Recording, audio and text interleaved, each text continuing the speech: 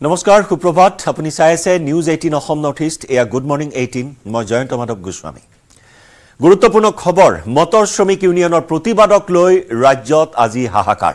নতুন hit and run আইনৰ বিৰুদ্ধে মটৰ শ্ৰমিক ইউনিয়নৰ প্ৰতিবাদত দেশজুৰি হাহাকাৰ পৰিস্থিতিৰ সৃষ্টি হৈছে।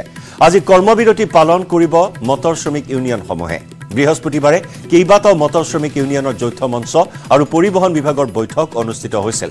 কিন্তু এই বৈঠকত নোলাল কোনো সমাধান সূত্ৰ। আজি এঘাৰ বজাত পুনৰ বৈঠকত বহিব মটৰ শ্ৰমিক ইউনিয়ন আৰু পৰিবহণ বিভাগ। পুনৰ পৰিবহণ বিভাগৰ সৈতে বৈঠকত কোনো সিদ্ধান্তত উপনীত নহলে দীঘলীয়া হ'ব কৰ্মবিৰতি। জৰুৰীকালীন সেৱাৰ সকলো খোলা থাকিব। আজি কোনো ধৰণৰ বন্ধ দিয়া নাই মটৰ শ্ৰমিক ইউনিয়নে। উজনি নামনি সৰ্বত্ৰে যাতায়াত স্থবিৰ হৈ পৰিব বা ইতিমধ্যেই এই প্ৰভাৱ পৰিলক্ষিত হৈছে পুৱাৰে পৰা বিভিন্ন প্ৰান্তত থকা আমাৰ সাংবাদিকসকলৰ সৈতে যোগাযোগ স্থাপন কৰিম। আমি কেনেকুৱা পৰিস্থিতি কেনেকুৱা পৰিৱেশে বিৰাজ কৰিছে সেই বিষয়ে জানিম। কিন্তু প্ৰথমে আপোনালোকক জনাই লৈছোঁ যে আজি হিট এণ্ড ৰান গোচৰৰ যি শাস্তিৰ বিধান দিয়া হৈছে ভাৰতীয় ন্যায় সংহিতাত সেই শাস্তিৰ বিধান হ্ৰাস কৰাৰ দাবীৰে বা দুটাকৈ ধাৰা প্ৰত্যাহাৰৰ দাবীৰে ৰাজ্যত কৰ্মবিৰতি পালন কৰিছে। আৰু এই কৰ্মবিৰতিৰ পিছত যাতায়াত যোগাযোগ সম্পূৰ্ণৰূপে বন্ধ। জনজীৱন আজি বিপৰ্যস্ত। সতীৰ্থ সাংবাদিক বিৰিঞ্চি কুমাৰ ডেকা আছে গুৱাহাটীৰ পৰা। শিৱসাগৰৰ পৰা আমি পোনপটীয়া সম্প্ৰচাৰত সংযুক্ত হৈছোঁ আমাৰ সাংবাদিক প্ৰদীপ গগৈৰ সৈতে।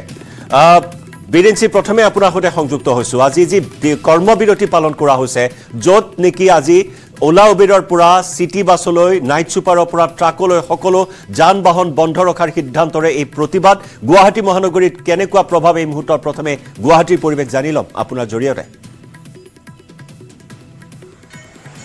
নিশ্চয় জয়ন্ত যে আচলতে হিট এণ্ড ৰান যি ভেহিকুল আইন প্ৰৱৰ্তন কৰিব বিচাৰিছে চৰ কেন্দ্ৰীয় চৰকাৰে আৰু সেই কেন্দ্ৰীয় চৰকাৰে প্ৰৱৰ্তন কৰিব খোজা সেই আইনখনৰ বিৰোধিতাৰে। আজিৰ পৰা আচলতে স্তব্ধ হৈ পৰিছে যি যান বাহন চলাচল। আৰু সেই মুহূৰ্তত আচলতে মই উপস্থিত আছোঁ গণেশগুৰি গণেশগুৰিত দেখা পোৱা গৈছে যে যিসমূহ ব্যক্তিগত বাহন আছে সেই ব্যক্তিগত এই, যি ব্যক্তিগত যাত্ৰীবাহী যিসমূহ বাহন আছে সেইসমূহ চলাচল সম্পূৰ্ণৰূপে বন্ধ হৈ আছে। কিন্তু চৰকাৰৰ যিসমূহ বাহন সেইসমূহ চলি আছে। আৰু দেখা পোৱা গৈছে যে কালিৰ দিনটোত এটা কথা কোৱা হৈছিল যে আজি যিহেতু দিনৰ এঘাৰ বজাত পুনৰ এখন মিটিং বাছ চালক সন্থা আৰু চৰকাৰৰ মাজত অনুষ্ঠিত হ'ব। সেই কালি বিয়লি ভাগৰ সিদ্ধান্ত অনুসৰি যে যিসমূহ অত্যাৱশ্যকীয় সেৱাৰ বাবে চলি থকা বাহন সেইসমূহ চলি থাকিব যাৰ বাবে এতিয়া পেট্ৰল ডিপুসমূহ ধুনীয়াকৈ চলি আছে আৰু দেখা পোৱা গৈছে চৰকাৰে যি চৰকাৰী যিসমূহ বাছ সেই বাছসমূহৰ বাহিৰে ব্যক্তিগত খণ্ডৰ আচলতে কোনো ধৰণৰ বাছ বা উবেৰ ওলা কোনো ধৰণৰ গাড়ী এই মুহূৰ্তত গুৱাহাটীৰ ৰাজপথত দেখিবলৈ পোৱা নাই আৰু যিহেতু দেখা পোৱা গৈছে ইমাৰ্জেঞ্চি যিসমূহ সেৱা জৰুৰীকালীন সেৱাসমূহৰ বাহিৰে। গুৱাহাটী মহানগৰীত কোনো এখন বাছে আচলতে এই মুহূৰ্তলৈকে চল- চলা নাই অট'ৰিক্সাৰ পৰা চিটি বাছলৈ অ'লা উবেৰ টেক্সি সেৱা সকলো এই মুহূৰ্তত বন্ধ হৈ পৰিছে গুৱাহাটী মহানগৰীত। আমি শিৱসাগৰৰ পৰিৱেশ জানিম এই মুহূৰ্তত। প্ৰদীপ গগৈৰ সৈতে যোগাযোগ স্থাপন কৰিছোঁ। প্ৰদীপ শিৱসাগৰত কেনেকুৱা পৰিৱেশ? দূৰণিবতীয়া বাছৰ পৰা আৰম্ভ কৰি ট্ৰাকৰ চলাচল সকলো বন্ধ ৰখাৰ সিদ্ধান্ত কৰ্মবিৰতিৰ সিদ্ধান্ত শিৱসাগৰৰ পৰিৱেশ জনাওক। হয় জয়ন্ত শিৱসাগৰতো এই আইনখনৰ বিৰোধিতাৰে মটৰ শ্ৰমিক সন্থাই তেওঁলোকে প্ৰতিবাদ সাব্যস্ত কৰিছে বন্ধ ৰাখি আজি পুৱাৰে পৰা শিৱসাগৰতো যিবিলাক বাছ ট্ৰাক সকলো বন্ধ ৰাখিছে। মই প্ৰথমে শিৱসাগৰৰ বৰ্তমান এইচ টি চিৰ ভিতৰত যিবিলাক আচলতে আণ্ডাৰ এইচ টি চিৰ বাছ আছে সেইবিলাকো বন্ধ আছে। মই সেই পৰিৱেশ পোনপ্ৰথমে দেখুৱাইছোঁ। এয়া দেখিছে শাৰী পাতি। এই বাছবিলাক বৰ্তমান ৰখাই থোৱা আছে আজি আজিৰ দিনটোৰ কাৰণে তেওঁলোকে এই বাছ চলাচল বন্ধ ৰাখিছে। এ, পূৰ্বতে পুৱা পাঁচ বজাৰ লগে লগে আচলতে যাতায়াত হয়। কিন্তু এয়া মই দেখুৱাইছোঁ শিৱসাগৰৰ পৰিৱেশ শিৱসাগৰত শাৰী পাতি এইধৰণে বাছসমূহ ইয়াত ৰখাই থোৱা হৈছে। কাৰণ আজি আজি তেওঁলোকে বাছ চলাচল আহ, বন্ধ ৰাখিব। মোৰ কাষত বৰ্তমান আছে কেইবাগৰাকীও বাছ চালক আছে আৰু সদৌ অসম মটৰ শ্ৰমিক সন্থাৰ উপদেষ্টা তথা শিৱসাগৰ জিলা সভাপতি শ্ৰমিক সন্থাৰ সভাপতি হাইদৰ হুছেইন আছে। মই জানিব বিচাৰিম আপোনাৰ পৰা আজি কি ক'ব এই গোটেই বিষয়- বিষয়- বিষয়টোৰ সন্দৰ্ভত? প্ৰথমে মই নিউজ এইটিনলৈ আন্তৰিক শ্ৰদ্ধা জ্ঞাপন কৰিছোঁ যে আজি মটৰ শ্ৰমিকৰ বিপৰ্যয়ৰ সময়ত তেখেতলোকে আমাৰ ওচৰত আহি আমাৰ বুজ লৈছে। মই প্ৰথমে ধন্যবাদ জনাইছোঁ। ইতিমধ্যে আপোনালোকে জানে যে কেন্দ্ৰীয় চৰকাৰে আজি কেইদিনমানৰ আগৰ পৰা এখন কলা আইন মটৰ শ্ৰমিকৰ ওপৰত জাপি দিছে।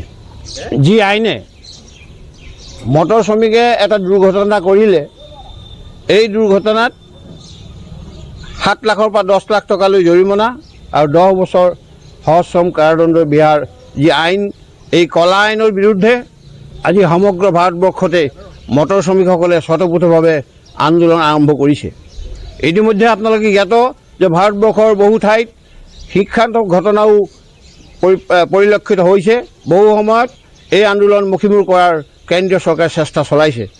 অসমত সদৌ অসম মটৰ শ্ৰমিক যুটীয়া পৰিষদে আজি যোৱা কেইদিন এই দাবাদাবিৰ ওপৰত বিভিন্ন সভা সমিতি কৰি অৱশেষত তেখেতলোকে চৰকাৰৰ পৰা কোনো সঁহাৰি নাপায় আঠচল্লিছ ঘণ্টা চকাবন্ধ কাৰ্যসূচী ঘোষণা কৰিছে। আপোনালোক জ্ঞাত এই আইনে সমগ্ৰ চালকসকলক প্ৰফেচনেলেই হওক প্ৰাইভেটেই হওক সকলো ধৰণৰ চালকক এটা দুৰ্যোগলৈ ঠেলি পঠিয়াব যি আজি ড্ৰাইভাৰসকলে আত্মহত্যা কৰিবলৈ বাধ্য হ'ব। কাৰণ এজন চালকে গাড়ী চলায় তেওঁ এটা দুৰ্ঘটনা পতিত কৰিলে তেওঁ প্ৰথমে চৰকাৰৰ মতে তেওঁ সেই যিজন আঘাতপ্ৰাপ্ত মানুহ তেওঁক খবৰ তেওঁক হস্পিটেললৈ নিব লাগিব। তাৰ পাছত তেওঁক থানাত গৈ পেলাই চাৰেণ্ডাৰ কৰিব লাগিব। তে এনে কৰাৰ পাছত সেই শ্ৰমিকজনৰ অৱস্থা বা জনসাধাৰণে তেওঁক মাৰি পেলাই গাড়ী চাৰি জ্বলাই দিয়াৰ উদাহৰণো আমাৰ অসমত আছে। গতিকে এনে কলা আইনৰ বিৰুদ্ধে সমগ্ৰ উত্তৰ পূৰ্বাঞ্চলত আজিৰ পৰা অহা সাত তাৰিখলৈ আঠচল্লিছ ঘণ্টা চকাবন্ধৰ কাৰ্যসূচী ঘোষণা কৰিছে। বহু সময়ত দেখা যায় যে চালকসকলেও কিন্তু কেতিয়াবা অত্যাধিক ধৰি লওক আইন কেতিয়াবা ভংগ কৰা দেখা যায় অত্যাধিক আপোনাৰ তীব্ৰ বেগত গৈ ক'ৰবাত খুন্দা মৰা দেখা যায় এই ক্ষেত্ৰত সচেতন হ'বনে আপোনালোক? অঁ হয় আমি এতিয়া ধৰক যিটো ধৰক ঘটনা ঘটি যায় কেতিয়াবা কেতিয়াবা ঘটাৰ পিছতো মানে আমি সকলো আমাৰ ড্ৰাইভাৰসকলে আমাৰ এতিয়া আমি সিদ্ধান্ত মানে গ্ৰহণ কৰিছোঁ যে চৰকাৰে যিটো আইন নিৰ্ধাৰিত কৰিছে ধৰক গাড়ী চলাব সময়ত বা ড্ৰিংকছ কৰিব নালাগে বা তেনেকুৱা কিছুমান ঘটনা আমাৰ সংঘটিত আহিছে আমাৰ সেই অৱস্থা মানে সকলো আমাৰ অসমৰ যিসকল মানে ধৰক আমাৰ ইয়াত মানে আমাৰ বন্ধটোত মানে আমাৰ সকলো ৰাইজৰে সহায় সহযোগিতা আমাৰ দৰকাৰ। কাৰণ দহ লাখ টকা পইচা দি পিনে বা যি যি যিগৰাকী আঘাতপ্ৰাপ্ত ব্যক্তিক ধৰক আমাৰ আপোনাৰ থানাত এজাহাৰ দি পিনে বা মেডিকেল ট্ৰিটমেণ্ট কৰা অৱস্থা মানে সেইটো সম্ভৱ নহয়। আপোনালোকৰ সজাগ হোৱাৰ প্ৰয়োজন আছে। আছে।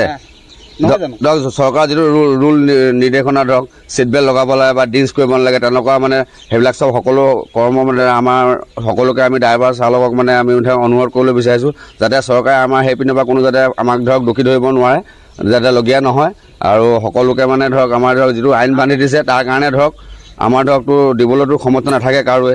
তাৰ উপৰি অঞ্চলি মানে আপোনাৰ ধৰক এতিয়া ধৰক আমি গাড়ীত অত দিনৰ পৰা আমি ধৰক বাছ আমি চলাই পিনে কৰ্মবিৰত কৰি আছোঁ। আমি ধৰক আজি আমি ধৰক বন্ধ কৰিছোঁ আমি দিন হাজিৰা কৰি খোৱা সকলো হয় নাই বাৰু? তাৰ উপৰঞ্চি মানে ধৰক চবেতো আমি হাজিৰা কৰিয়ে খাই আছোঁ। ৰাতিপুৱা দিনটো ঘটোঁ ৰাতি পিনে বজাৰ কৰি পিনে খোৱা হয়। আজি আজি কেতিয়ালৈকে থাকিব বন্ধ? কেতিয়ালৈকে আমি আশা কৰিছোঁ ধৰক এতিয়া লকডাউন হৈ গ'ল চাওক এবছৰ দিন ডেৰ বছৰ দিন বন্ধ হৈ গৈছে তেতিয়াতো আমাৰ ধৰক আমাৰ গাড়ীৰ কৰ্মচাৰীটো কোনো সোধা নাই। আমাৰ মালিকসকলে যিসকলক ধৰক আশ্ৰয় দি আছে তেওঁলোকে আমালোকক দি আছিলে। কোনো চৰকাৰে আমাৰ ধৰক দিছিলে কিবা দহ হাজাৰ টকা পইচা। তাৰ ধৰক থাৰ্টি পাৰ্চেণ্ট আমাৰ কোনোবা ব্যক্তিয়ে পাইছে। আজি কিমান দেৰিলৈকে থাকিব এই বন্ধ এই বন্ধটো আমাৰ অহা সাত তাৰিখে পুৱা পাঁচ বজাত হয় এ, শেষ আঠচল্লিছ হ'ব। ঘণ্টীয়া 48 কৰ্মবিৰতি। প্ৰদীপ আৰু এই ট্ৰাক চালকসকল বাছ চালকসকলৰ মাজত এনেদৰে প্ৰতিক্ৰিয়া অব্যাহত আছে চালক বিৰোধী এই আইন প্ৰত্যাহাৰৰ দাবীত বা শাস্তি লাঘৱ কৰাৰ দাবীত এই প্ৰতিবাদী কাৰ্যসূচী ৰূপায়ণ কৰা হৈছে বিৰিঞ্চি পুনৰ আপোনাৰ কাষলৈ আহিছোঁ চিটি বাছৰ পৰা সকলো সেৱাই বন্ধ হৈ পৰিছে এই মুহূৰ্তত গুৱাহাটী মহানগৰী সদাব্যস্ত গুৱাহাটী মহানগৰীত আজি বাণিজ্যিক বাহনৰ চকা চলা নাই। গতিকে তাৰ প্ৰভাৱ কেনেদৰে পৰিছে ৰাইজৰ মাজত? কোনো লোক আছে নেকি তাত? কেনেকুৱা ধৰণৰ অসুবিধাৰ সন্মুখীন হৈছে? এইখিনি মুহূৰ্তত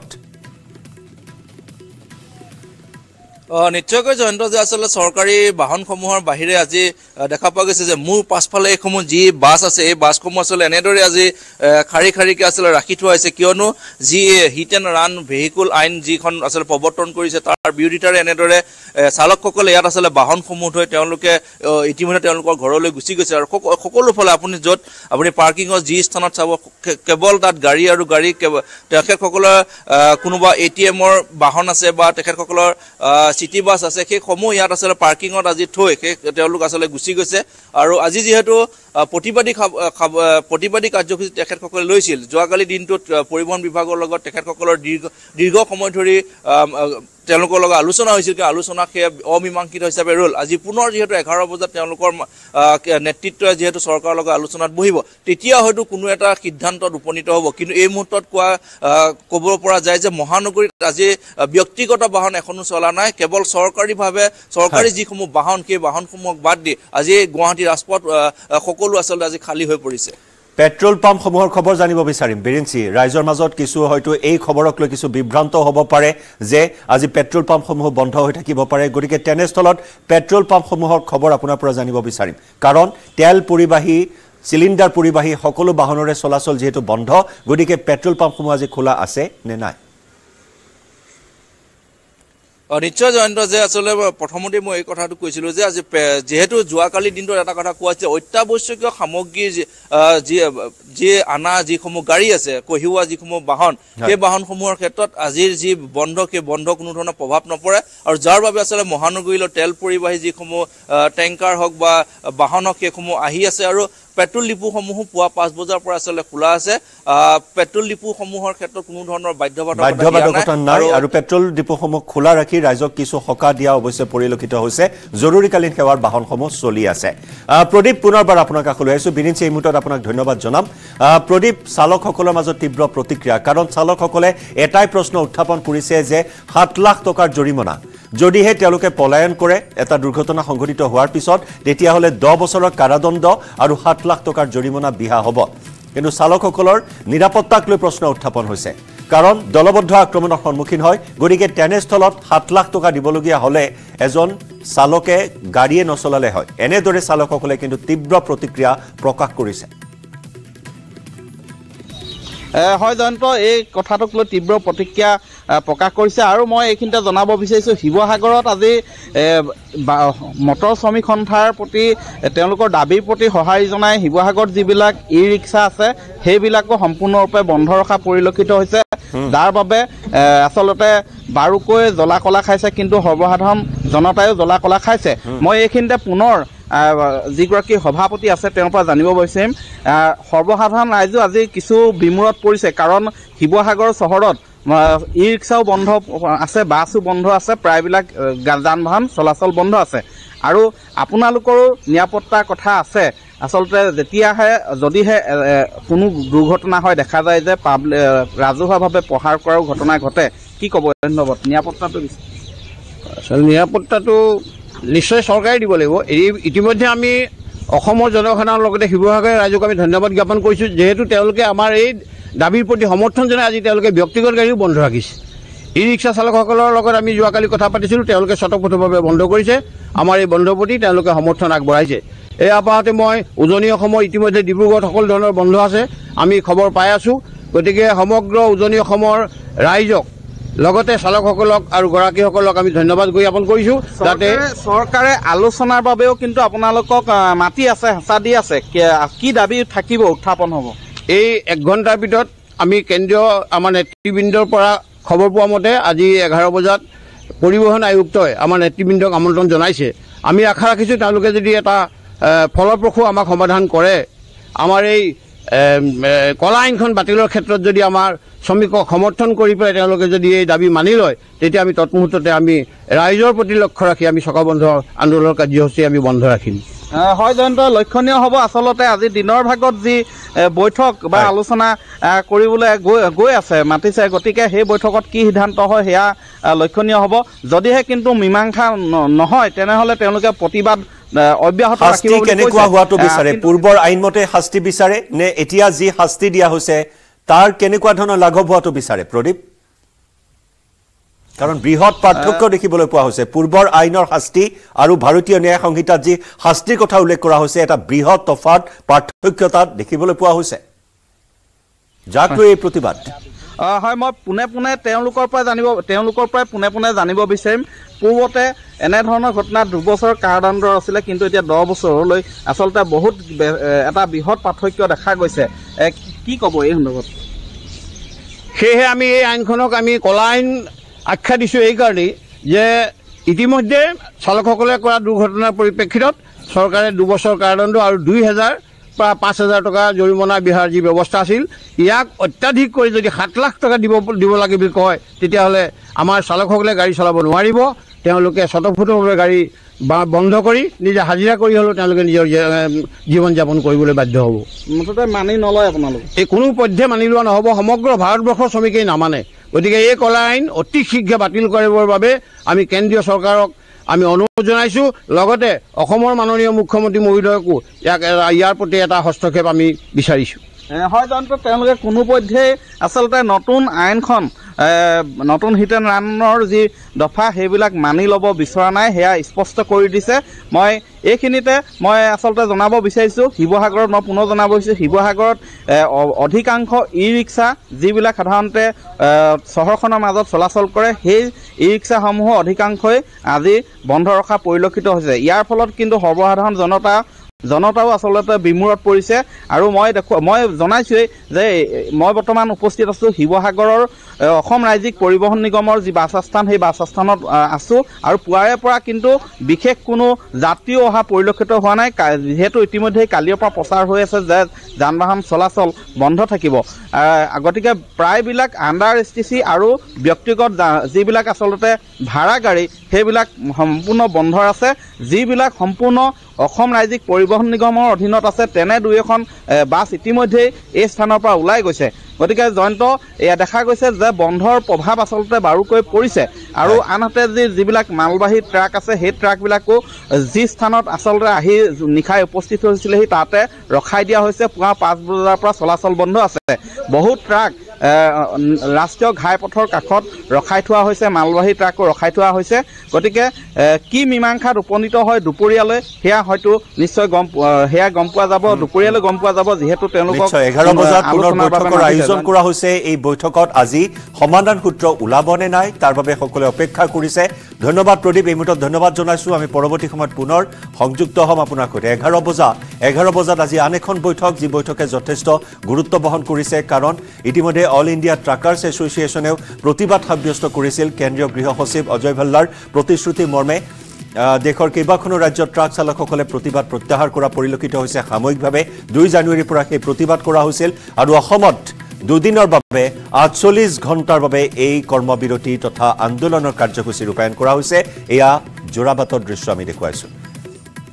দুই এখন বাহন চলা পৰিলক্ষিত হৈছে এক নিমাওমাও পৰিৱেশ।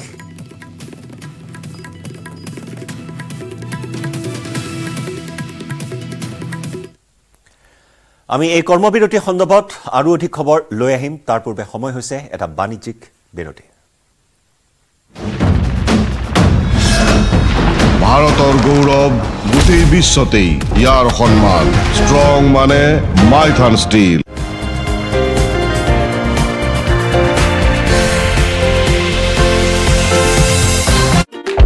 যদি তেনেকৈ এটা গ্ৰেচুইটি বা মানে লাষ্ট দৰমহা যিটো তাৰ ফিফটি পাৰ্চেণ্ট আচলতে পেঞ্চন হ'ব লাগে। ফিফটি পাৰ্চেণ্ট নালাগে ফৰ্টি পাৰ্চেণ্ট বা ফৰ্টি ফাইভ পাৰ্চেণ্ট বা থাৰ্টি ফাইভ পাৰ্চেণ্ট কিবা এটা দিলেও আমাৰ শিক্ষকসকল উপকৃত হয়। মোৰ অনুৰোধ সেইটোহে। উল্লেখযোগ্য ঊনৈছশ চৌৰান্নব্বৈ চনতে এই চাকৰিত যোগদান কৰা ছৈয়দ আলীৰ স্কুলখন দুহেজাৰ তেৰ চনত প্ৰাদেশিকীকৰণ হৈছিল। সেয়ে নতুন পেঞ্চন নীতিৰ অধীনত অৱসৰৰ পিছত মাত্ৰ এক হেজাৰ তিনিশ ঊনষাঠি টকা পেঞ্চন লাভ কৰে ছৈয়দ আলীয়ে। অৱসৰ গ্ৰহণৰ পিছত যিকেইটা টকা পালে সেই ধনেৰে পুত্ৰৰ পঢ়াৰ খৰচ আৰু পৰিয়াল চলোৱাটো কঠিন হৈ পৰিল। সেয়ে নিজৰ মেধাৱী পুত্ৰক পঢ়োৱাৰ লগতে পৰিয়াল চলোৱাৰ বাবে বৃদ্ধ বয়সত এইদৰে ৰ'দে বৰষুণে নিজৰ টেম্পুখন লৈ ঘৰৰ পৰা ওলাই আহে ছৈয়দ আলী। এয়া মাথো এক উদাহৰণহে ছৈয়দ আলীৰ দৰে বহু শিক্ষকৰ চৰকাৰৰ পৰা নাই কোনো প্ৰত্যাশা। মাথো আছে এন পি এছৰ প্ৰতি তীব্ৰ ক্ষোভ। নীলোৎপল বৰাৰ ৰিপৰ্ট নিউজ নৰ্থ ইষ্ট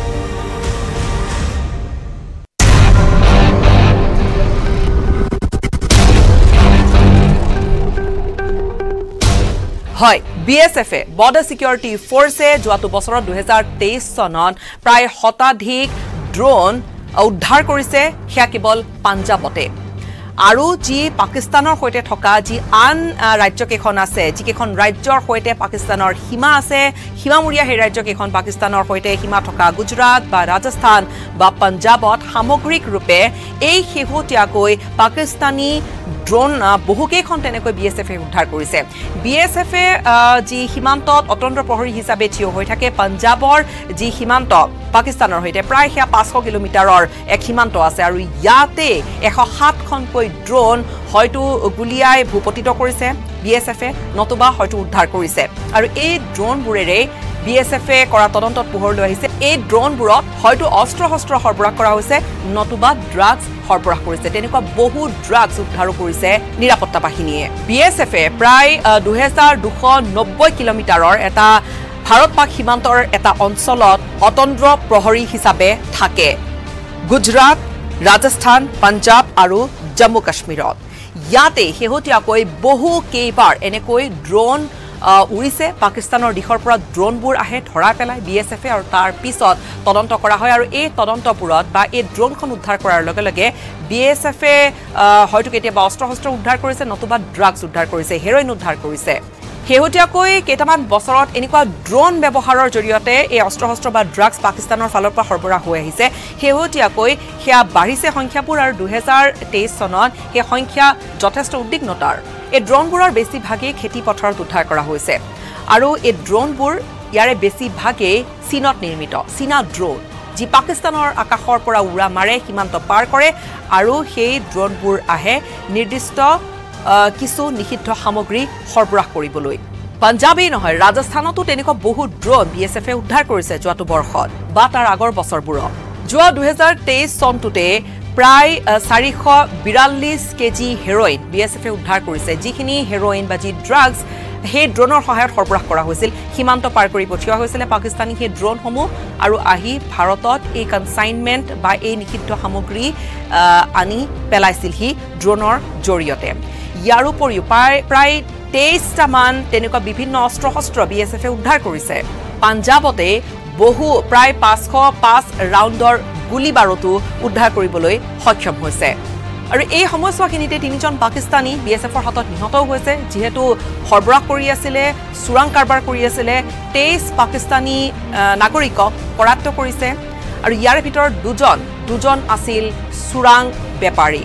অৱশ্যে শেহতীয়াকৈ যি এই ড্ৰোনৰ জৰিয়তে সৰবৰাহৰ যি ঘটনাবোৰ বাঢ়িছে তাৰ প্ৰতি লক্ষ্য ৰাখি শীঘ্ৰেই হয়তো ভাৰতত এনেকুৱা এটা টেকনলজি উদ্ভাৱন কৰা হ'ব যিয়ে এই গোটেই প্ৰক্ৰিয়াটো বন্ধ কৰিবলৈ সক্ষম হ'ব। আৰু ভিতৰুৱা সূত্ৰই জানিবলৈ দিয়া মতে অহা ছমাহৰ ভিতৰতে অৰ্থাৎ দুহেজাৰ চৌব্বিছৰ ভিতৰতে এই গোটেই ব্যৱস্থাটো কৰা হ'ব। ড্ৰোন বা ড্ৰোনৰ পাকিস্তানৰ দিশৰ পৰা অহা ড্ৰোন কেনেকৈ এই গোটেই প্ৰক্ৰিয়াটো বন্ধ কৰিব পৰা যায় তাৰ বাবে এটা বিশেষ পৰিকল্পনা যুগুত কৰিছে ভাৰতে। ভাৰতীয় থলুৱা প্ৰযুক্তিৰে এটা এণ্টি ড্ৰোন টেকনলজি এটা উদ্ভাৱন কৰা হৈছে। ইয়াৰ জৰিয়তে বা এই এণ্টি ড্ৰোন টেকনলজিৰ প্ৰয়োগেৰে এই গোটেই প্ৰক্ৰিয়াটো বন্ধ কৰিব পৰা যাব বুলি দাবী কৰা হৈছে। অৱশ্যে এতিয়ালৈকে আনুষ্ঠানিকভাৱে একো তেনেকুৱা ধৰণৰ কথা জনোৱা হোৱা নাই। যদিও বা ভিতৰুৱা সূত্ৰই জনোৱা মতে অহা ছটামান মাহৰ ভিতৰতে এই গোটেইখিনি সাজু কৰি তোলা হ'ব। ইয়াৰ বাবে ট্ৰায়েল ইতিমধ্যে আৰম্ভ হৈছে আৰু একেবাৰে নিশ্চিত বা ফাইনেল কৰাৰ বাবে গোটেই প্ৰক্ৰিয়াও চলি আছে। যোৱাটো বছৰ এণ্টি ৰোগ ড্ৰোন টেকনলজি কমিটি এখনো গঠন কৰা হৈছিলে। Border security force B S এফৰ সঞ্চালক প্ৰধানৰ তত্বাৱধানত এই কমিটিখন গঠন কৰা হৈছিল আৰু এই কমিটিখনে এই গোটেই খণ্ডটোত এটা গুৰুত্বপূৰ্ণ ভূমিকা লৈছে। মুঠৰ ওপৰত ভাৰতে গোটেই প্ৰসংগটো খুব গুৰুত্ব সহকাৰে লৈছে আৰু পাকিস্তানী এই ড্ৰোনেৰে যিবোৰ অস্ত্ৰ শস্ত্ৰ সৰবৰাহ কৰা হৈছে যি ড্ৰাগ সৰবৰাহৰ এটা পদ্ধতি এছামে এছাম পাকিস্তানৰ পৰা পাকিস্তানত থাকি এছামে চোৰাং বেপাৰীয়ে এই এই গোটেই পদ্ধতিটো উলিয়াইছে। ইয়াৰ ওপৰত সম্পূৰ্ণৰূপে গোটেই প্ৰক্ৰিয়াটো বন্ধ কৰি দিবলৈ এতিয়া উঠি পৰি লাগিছে বি এছ এফ সম্পূৰ্ণৰূপে কাঢ়া নজৰ ৰাখিছে সীমান্তত।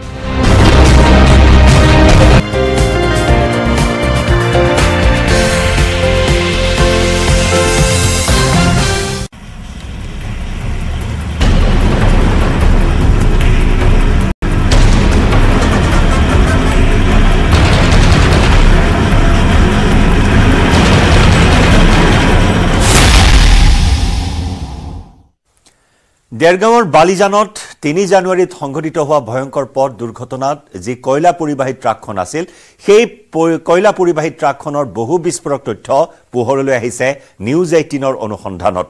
এই চৈধ্যচকীয়া ট্ৰাকখন সৰবৰাহ কৰা কয়লাসমূহৰ দুখন ইনভইচৰ বিপৰীতে আছিল দুখনকৈ কৰ পৰিশোধ কৰাৰ ই ই ৱে বিল। নথি পত্ৰ অনুসৰি ট্ৰাকখনত সৰবৰাহ কৰা কয়লাৰ পৰিমাণ হয়গৈ প্ৰায় পঁচাশী টন। য'ত নেকি এনে ট্ৰাকত সৰবৰাহ কৰিব পৰা সামগ্ৰীৰ অনুমোদিত ওজন হ'ল মাত্ৰ ত্ৰিছ টন। অত্যধিক কয়লা বোজাই কৰি নিয়া এই ট্ৰাকখনে তিনিচুকীয়াৰ তিৰাপৰ পৰা তিৰাপৰ মেচাৰ্ছ এছ বি এণ্টাৰপ্ৰাইজৰ পৰা দুই জানুৱাৰীত গোলোকগঞ্জৰ অজয় কুমাৰ মণ্ডলক দিবলৈ ছাপন্ন দশমিক পাঁচ তিনি টন কয়লাৰ বাবে ই ৱে বিল লৈছিল। ঠিক সেইদৰে A S zero' one P C zero' six four eight নম্বৰৰ ট্ৰাকখনে তিনি জানুৱাৰীটো বঙাইগাঁৱৰ বেলতলা বালাপাৰাৰ এটা ইটাভাটা দিবৰ বাবে মেচাৰ্ছ এছ বি এণ্টাৰপ্ৰাইজৰ নামত ঊনত্ৰিছ দশমিক এক ন টনৰ ই ৱে বিল লৈছিল। তাৎপৰ্যপূৰ্ণভাৱে তিনি জানুৱাৰী পুৱা প্ৰায় চাৰে চাৰি বজাত দুৰ্ঘটনাত পতিত ট্ৰাকখনৰ কয়লাখিনিৰ বাবে এই ই ৱে বিলখন ইছ্যু কৰা হৈছে তিনি জানুৱাৰী বিয়লি দুই বজাৰ পিছত। দুই জানুৱাৰীৰ ছাপন্ন দশমিক পাঁচ তিনি টন কয়লাৰ ইনভইচৰ মূল্য দুই লাখ ঊনানব্বৈ হাজাৰ সাতশ ষোল্ল টকাৰ বিপৰীতে ই ৱে বিলখনত ইছ্যু কৰা হৈছিল দুই জানুৱাৰীত বিয়লি প্ৰায় পাঁচ বজাত। কয়লা সৰবৰাহ কৰা এই চৈধ্যচকীয়া ট্ৰাকখনত অতি বিপদজনকভাৱে মাত্ৰাধিক কয়লা কঢ়িয়াই নিয়াটো এই নথি পত্ৰসমূহতেই নিশ্চিত হৈছে। আনহাতে ট্ৰাকখনত কঢ়িয়াই নিয়া কয়লাখিনিৰ বিপৰীতে দুখনকৈ ইউ এ বিল ইছ্যু কৰাৰ অন্তৰালত উজনিৰ তিনিচুকীয়া জিলাৰ পৰা চলি থকা কয়লাৰ এক ভয়ংকৰ চিণ্ডিকেটৰ তথ্য পোহৰলৈ আহিছে। একেখন ট্ৰাকত সৰবৰাহ কৰা কয়লাৰ বিপৰীতে ইছ্যু হোৱা দুখনকৈ ইউ এ বিল অৰ্থাৎ দুই জানুৱাৰীত ছাপন্ন দশমিক পাঁচ তিনি টন আৰু তিনি জানুৱাৰীত ঊনত্ৰিছ দশমিক এক তিনি টন কয়লাৰ মুঠ পৰিমাণ হয়গৈ পঁচাশী দশমিক ছয় ছয় টন কয়লা। ট্ৰাকখনত মাত্ৰাধিক পৰিমাণত বোজাই কৰি নিয়া ছাপন্ন টন কয়লাৰ তথ্য লুকুৱাবলৈ তিনি জানুৱাৰীত নতুনকৈ ঊনত্ৰিছ টন কয়লাৰ ইউ এ বিল ইছ্যু কৰা হৈছিল নে ট্ৰাকখনত দুয়োখন ইউ এ বিলৰ কয়লা একেলগে নিয়া হৈছিল সেয়া তদন্তৰ পিছত স্পষ্ট হ'ব।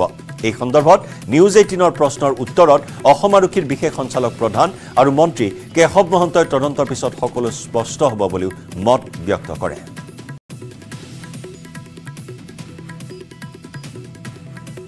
তাত কয়লা ওলাইছে তো সকলোৱে দেখিছে। এইটো চৰকাৰে যদি কয়লাত কিবা বন্ধ কৰি থৈছে এনকুৱাৰী কৰক। চুৰকে আহিছে যদি শাস্তি দিয়ক কি কথা ক'বলৈ আছে? একো কথা অন্য লুকুৱা ঢুকুৱা ইয়াত নাই। আৰু ইয়াত লগে লগে মানে এডিশ্যনেল ডি ডি পি মানে হাৰ্মিত সিঙক পঠাইছে। নিশ্চয় তেওঁলোকে চাইছে। মই এইটো কথা আপোনালোকৰ পৰা এতিয়া শুনিলোঁ।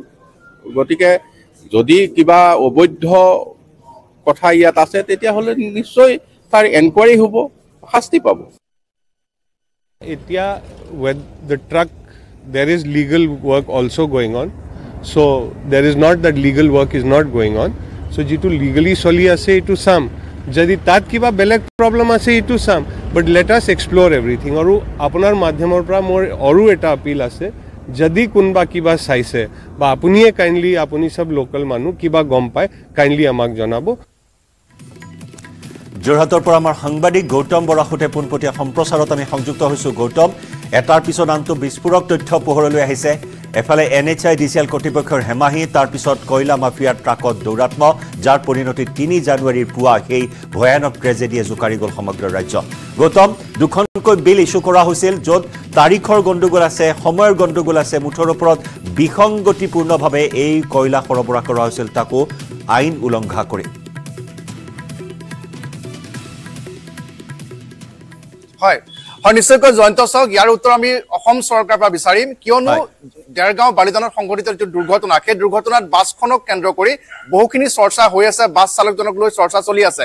কিন্তু যিখন কয়লা সৰবৰাহ কৰা যিখন ট্ৰাক সেই ট্ৰাকখনক কেন্দ্ৰ কৰি যিখিনি তথ্য আমি লাভ কৰিছো আমি তাৰ পাছৰ পৰাই ইয়াত ব্যস্ত আছিলো আৰু যিখিনি তথ্য আমাৰ হাতত আহি পৰিছেই যে মন কৰক যে এখন ট্ৰাকত কয়লা সৰবৰাহ কৰা হৈছে কিন্তু তাত দুখনকৈ ইনভইচ আৰু দুখনকৈ ইউ এ বিল এখন কয়লা দিয়া য'ত নিয়া হৈছে গোলোকগঞ্জলৈ তাত প্ৰায় ছাপন্ন টন কয়লা নিয়াৰ যি ইনভইচ আৰু ইউ এ বিল আমি পাইছো ঠিক সেইদৰে তিনি জানুৱাৰীত যিখন ইছ্যু কৰা হৈছে বঙাইগাঁৱলৈ নিবৰ বাবে এখন ইছ্যু কৰা হৈছে তাতো ঊনত্ৰিছ ঊনত্ৰিছ টন কয়লা।